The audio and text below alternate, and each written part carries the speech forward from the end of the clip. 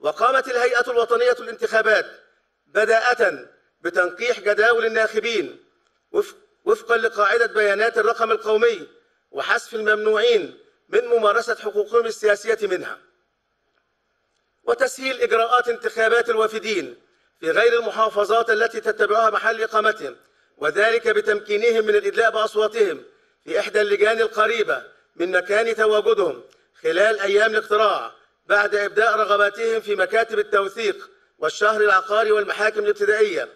ومن أجل مزيد من التيسير وحثا للمواطنين على الانتخاب فقد أوفدت الهيئات الوطنية للانتخاب خضاة إلى أماكن المشروعات القومية العملاقة التي بها عدد كبير من العاملين لتسجيل طلباتهم في الإدلاء بأصواتهم في غير المحافظات التي يوجد بها محل إقامتهم.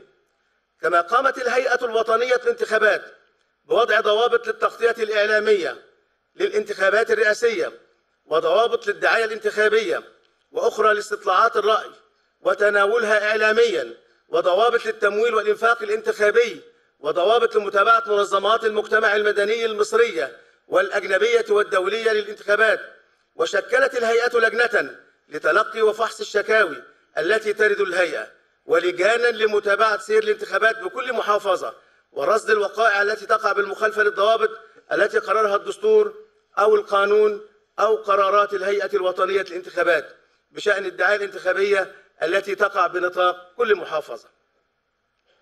وقمنا بعقد دورات وندوات تثقيفية وبث العديد من المواد الإعلانية في وسائل الإعلام المسموعة والمرئية وعبر الإنترنت لتوعية الناخبين بحقوقهم السياسية وبأهمية مشاركتهم في الانتخابات الرئاسية وحثهم على المشاركة فيها وعقدنا دورات تدريبية للقضاة المشرفين على الانتخابات الرئاسية لتدريبهم على كيفية الاطلاع بمهامهم في الإشراف على عمليات الاقتراع والفرز.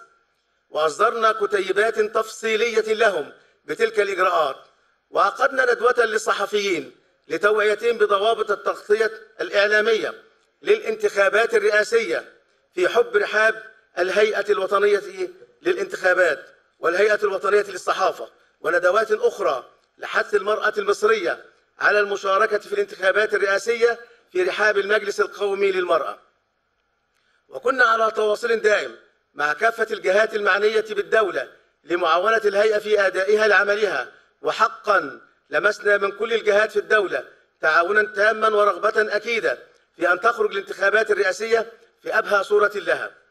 وذلك بعد أن وضعنا جدولا زمنيا مفصلا بكافة إجراءات الانتخابات الرئاسية وعملنا على زيادة عدد أيام الاقتراع لتكون على مدار ستة أيام ثلاثة منها للاقتراع خارج مصر وثلاثة منها للاقتراع في الداخل.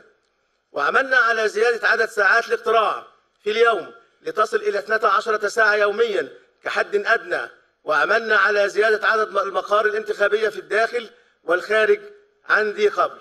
إذ بلغ عدد اللجان الفرعية في الداخل عدد 13706 لجنة واللجان العامة عدد 367 لجنة ولجان المتابعة عدد 38 لجنة ولجان الحفظ عدد 367 لجنة وبلغ عدد القضاة المشرفين على العملية الانتخابية.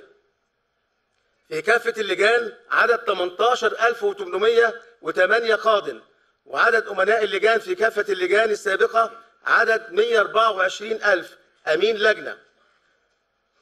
ولم يكن ممكنا لنا كهيئة وطنية للانتخابات اتخاذ كل تلك الإجراءات غير المسبوقة إلا بجهد مخلص وعمل جماعي دؤوب متواصل على مدار ساعات وأيام وأشهر من زملاء أعضاء مجلس الإدارة مجلس إدارة الهيئة الوطنية للانتخابات وأعضاء الجهاز التنفيذي للهيئة وموظفيها ومهندسيها والعاملين فيها والذين لهم مني جميعا كل الشكر والتقدير.